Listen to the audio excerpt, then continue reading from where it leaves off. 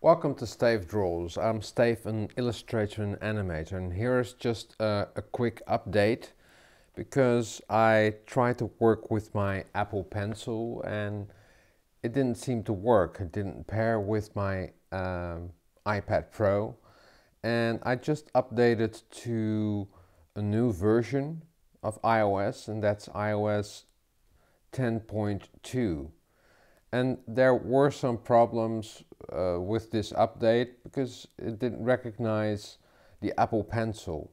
There's just a, a simple way to get your Apple Pencil to pair again and I'm just going to show it now.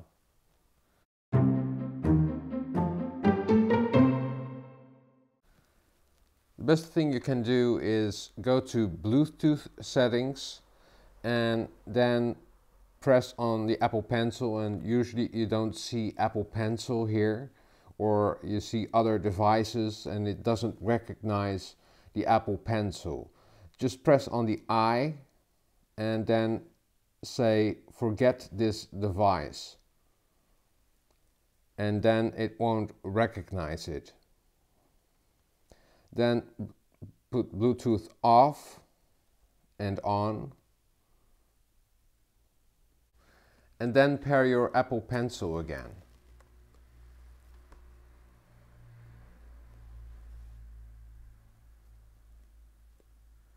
And then you get the, the pop-up window that asks Bluetooth pairing request Apple Pencil would like to pair with your iPad and then press on pair. And then your Apple Pencil is connected to your iPad Pro again. I hope you enjoyed this video and if you like it please give it a thumbs up. Please let me know in the comments if you had the same problems when you're working with uh, an iPad Pro and the Apple Pencil and are running 10.2 iOS. Drawing is fun and practice makes perfect. See you next time.